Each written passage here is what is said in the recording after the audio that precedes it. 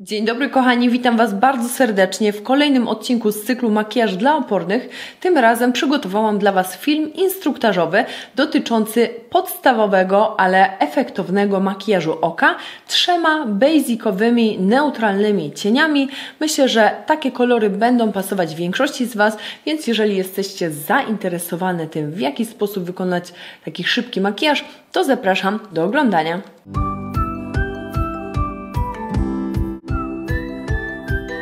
Zanim przejdę do omawiania stricte makijażu oka, chciałabym wspomnieć o tym, że warto swoją powiekę przygotować.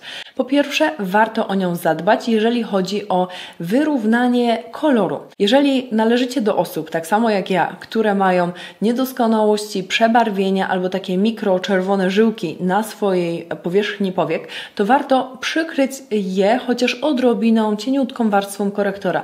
Dzięki czemu nawet Nakładając jasne cienie, jeżeli chodzi o kolor, to kolorystyka będzie o wiele ładniejsza, cały makijaż będzie czystszy. Drugą sprawą jest to, że też korektor u wielu z Was będzie pełnił funkcję jakby takiej bazy pod cienie. W związku z czym, że jakby kładziemy sobie coś sypkiego, czy też prasowanego, ale w każdym razie suchego na powierzchnię, która jest mokra, czyli właśnie ten korektor, to wtedy to już zadziała jako taka właśnie baza. I ta technika najlepiej sprawdzi się na co dzień osobom, które nie mają opadających powiek.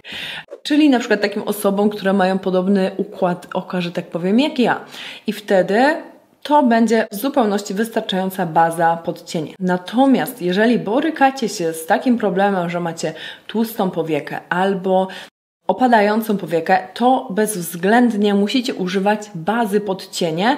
Ważne, żeby ona była w tubce, o tym już też wielokrotnie mówiłam, żeby po prostu nie wysychała. Odrobinkę tej bazy nakładacie sobie na całą powiekę i aż pod łuk brwiowy. Dzięki czemu zapobiegacie rolowaniu się cieni i ich przemieszczaniu podczas dnia.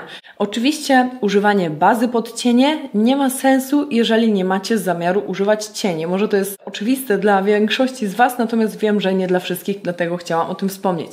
Drugą natomiast rzeczą są odpowiednie pędzle. Przede wszystkim będziemy potrzebować dosyć dużego pędzelka, którym będziemy pracować na większych powierzchniach, później nieco mniejszego na środku właśnie powieki, takiego maluszka jeszcze do wewnętrznego kącika, do załamania jeden pędzelek oraz na dolną powiekę.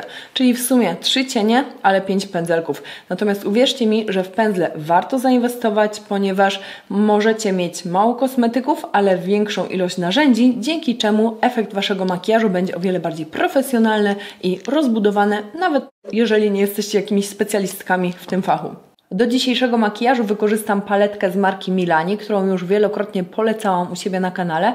Natomiast z tego co wiem, ona obecnie jest bardzo trudno dostępna. Dlatego też w opisie filmu nie tylko znajdziecie wszystkie namiary na pędzle i tak dalej, i wszystkie inne rzeczy, o których będę dzisiaj w filmie opowiadać, ale także na bardzo dobry zamiennik, a wręcz rozbudowaną wersję tej właśnie paletki, również z tej samej marki, która również jest jakościowo świetna i też ją polecała, widziałam Kasia Zaręba w jednym ze swoich odcinków.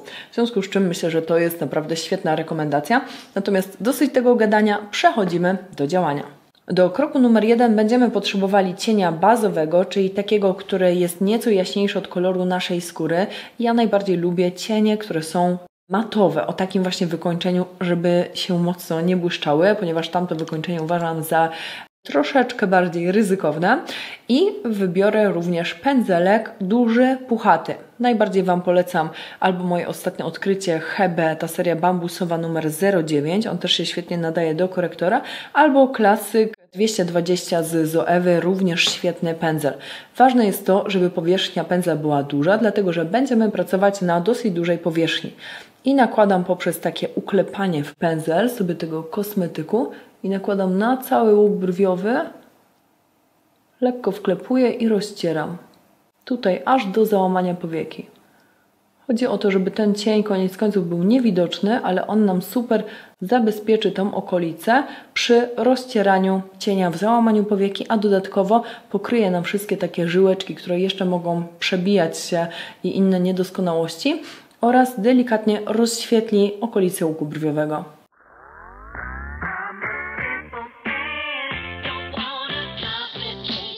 Następnym krokiem będzie nałożenie cienia, również jasnego, ale już nieco ciemniejszego niż ten poprzedni, Wybiorę sobie tutaj ten właśnie obok i będziemy go nakładać na całą ruchomą powiekę. Z racji tego, że już idę w nieco ciemniejsze cienie, to muszę nadmiar sobie gdzieś tutaj zostawić, po to, aby te cienie mi się nie osypały i nie uszkodziły reszty makijażu. Do tego celu wykorzystam pędzelek, mój ulubiony do nakładania właśnie cieni na ruchomą powiekę, zarówno w pracy, jak i w użytku prywatnym. To jest 234 z Zoewy, taki bestseller też od wielu lat i nakładam na całą ruchomą powiekę, aż tutaj do załamania powieki. Chodzi mi o to, aby te cienie, dwa nałożone obok siebie, ze sobą stricte graniczyły i nachodziły delikatnie na siebie. I nakładam go na całą wypukłość tutaj gałki ocznej, czyli wszędzie, gdzie czuję pod pędzlem, że jest to moje oko w tamtym miejscu, to właśnie tam nakładam. Pilnuję też tego, żeby dotrzeć do linii rzęs. Zobaczcie, niby nic, mamy bardzo subtelny efekt, ale jednak oko wygląda już zupełnie inaczej. Bardzo często w makijażu mamy do czynienia z tym, że kosmetyki, które wyglądają najbardziej niepozornie, dają najlepsze efekty.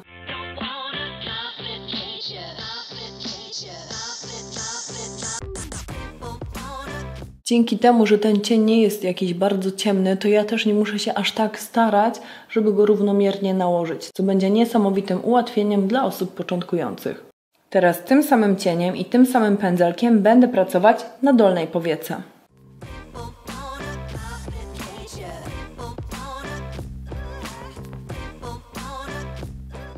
Znowuż mamy do czynienia z efektem bardzo subtelnym, ale w mojej opinii to naprawdę powiększa oko.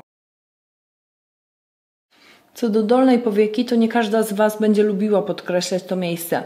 Myślę, że taką najprostszą regułą, którą mogłabym polecić Wam, jest to, że jeżeli Wasza dolna powieka jest duża, u mnie ona sięga aż dotąd, to podkreślona będzie wyglądać naprawdę dobrze. Natomiast jeżeli jest ona zupełnie malutka i tutaj w zasadzie Wam się już oko kończy, to wtedy może niekoniecznie.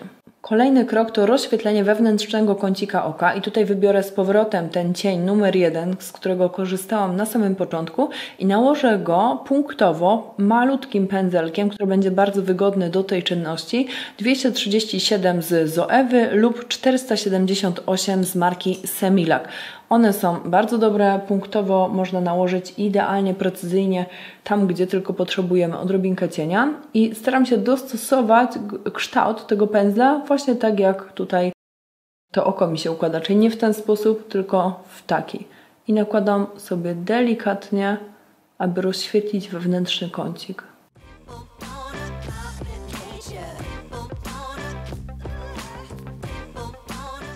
Staram się subtelnie połączyć te dwa cienie, ale tak, żeby nie podrażnić oka.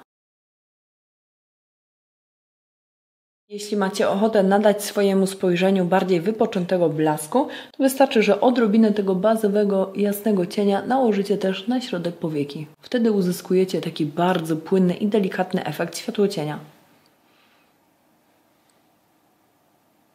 Teraz wykorzystam cień, który jest już ciemniejszy niż te dwa pozostałe, natomiast żeby nie był aż tak zimny, delikatnie go ocieplę tym takim rudawym. Wykorzystam pędzelek, jeden z moich ulubionych do blendowania załamania powieki, czyli 227 z Zoewy. Też fajny kształt, będzie miał 0,6 z M Brush z Maxineczki oraz 220 z firmy Blended. On jest już nieco bardziej sztywny, ale też myślę, że sprawdzi się wielu z Was. I mieszam sobie te dwa cienie, nadmiar sobie zostawiam na dłoni i nakładam na załamanie powieki. Tutaj bardzo ważną rzeczą jest to, o czym mówiłam w filmie, który Wam tutaj podlinkuję. Bardzo ważną rzeczą jest to, aby ustawić dobrze twarz do lustra, czyli nie malujemy się tak, bo się napracujemy i nic nie zobaczymy, tylko poker face i patrzymy w taki sposób do lusterka, w jaki ludzie na nas patrzą, czyli nie obracamy dziwnie głowy, ponieważ będziemy miały zaburzony kąt patrzenia, widzenia i nie będziemy widziały, gdzie pracujemy w jaki sposób pracować takim pędzlem. Przede wszystkim, jak jemu się przyjrzymy, to ten rodzaj pędzla ma taką budowę jakby takiego stożka, czyli on jakby ma taki kształt zwężający się ku górze i tą zwężką, że tak powiem, staramy się utrafić w zagłębienie, czyli okolice właśnie tutaj tego oczodołu i tam utrafiając delikatnie rozcieramy.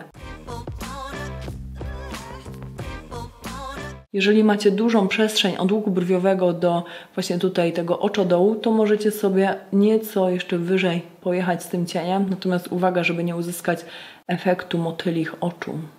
Pamiętajcie, że w blendowaniu oka częstotliwość ruchów ma o wiele większe znaczenie niż intensywność cieni czy jakość pędzli. To jest ważne, żeby stopniowo dokładać ten cień. Oczywiście, jeżeli macie już wprawę, to całość wychodzi o wiele szybciej i czasem dwa ruchy już wystarczą. Natomiast kluczem do sukcesu też jest to, aby nie używać zbyt ciemnych kolorów. I ostatnim etapem, jeżeli chodzi o cieniowanie, będzie podkreślenie dolnej linii rzęs takim malutkim pędzelkiem. Ja tutaj mam Hebe E06, jeden z moich ulubionych pędzli, jeżeli chodzi o podkreślanie właśnie tego miejsca. I wykorzystam sam ten właśnie chłodniejszy cień. I tutaj sobie przy linii rzęs delikatnie wtłaczam. Staram się nie podrażnić powieki.